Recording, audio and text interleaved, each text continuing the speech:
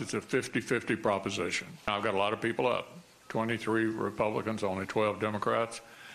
There are dogfights all over the country.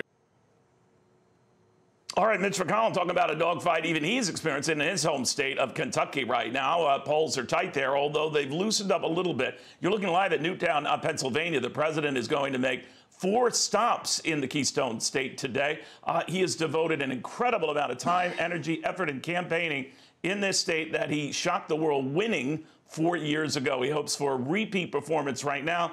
Early indications are that polls are tightening there.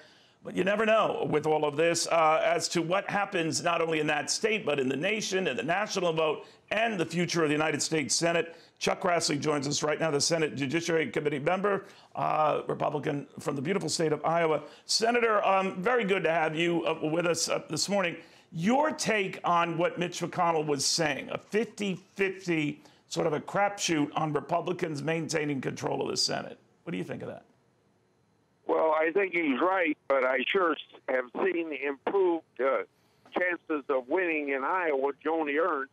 I uh, Republicans have a lot of energy on the ground here in Iowa. I did six events with Joni Ernst yesterday, and I'm about to go to another one just as I'm done with this interview. We have President Trump coming to Dubuque uh, tomorrow for a big rally.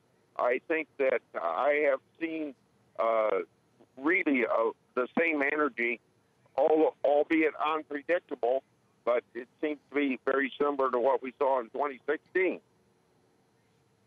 You know, Senator, we've seen these spikes in cases. The president says it's really testing that's yielding that. That uh, it's nothing more than that. On that, we're rounding the bend.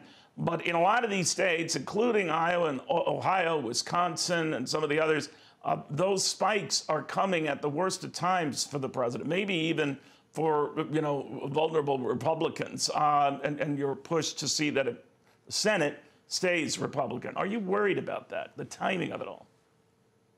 Well, it's uh, it's a top priority for a lot of people, but don't forget uh, the economy is the top priority uh, for 56% uh, of the people approving of what President Trump's done in that area. And I think when it comes to fighting the pandemic, uh, from closing down air flights from China way back in January to setting up the uh, warp speed process to get vaccines up and running. Uh, what he's done to get more ventilators uh, out to not only the United States but around the world, and uh, he, he uh, and the PPE stuff and helping small business when the economy shut down with the Paycheck Protection Program uh, I think he's shown a lot of uh, uh, ambition to help fight the virus. And you know how it's expanding around the world.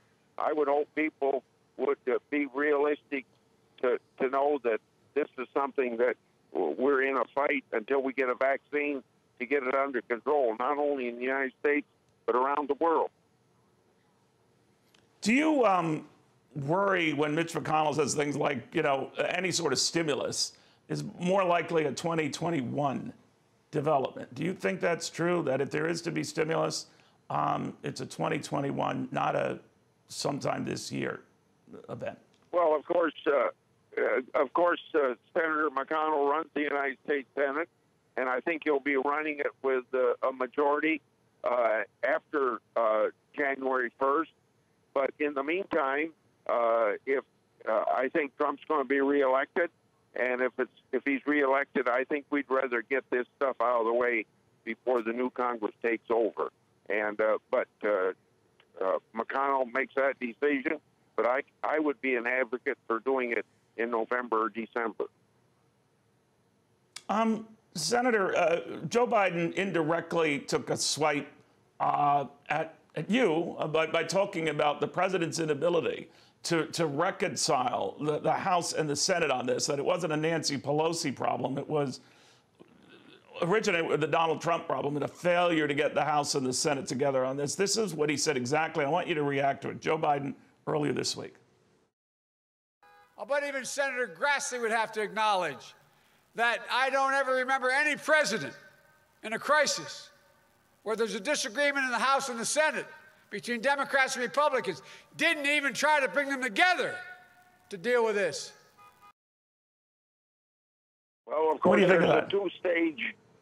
Uh, well, uh, yeah, he he and I got along all right when he was a member of the Senate, and we'd still be getting along all right if he hadn't sold out to the, the Senator Sanders and the progressives and the AOCs and all those. But uh, he can express what he wants to. But don't forget that Democrats repeatedly blocked our efforts on the floor. That we couldn't even get seven Democrats to go along with us to bring up a bill that maybe they didn't like, but a bill that if they'd let us get it up for discussion, they could amend it, and by amending it, they could get all of their priorities up, but they didn't even want right. to discuss it. The last week of July, the first week of September, and twice during October, they stopped us from getting uh, stimulus bills. All up. right. So uh, Biden better talk to his own people. All right, Senator Grassley, thank you very, very much.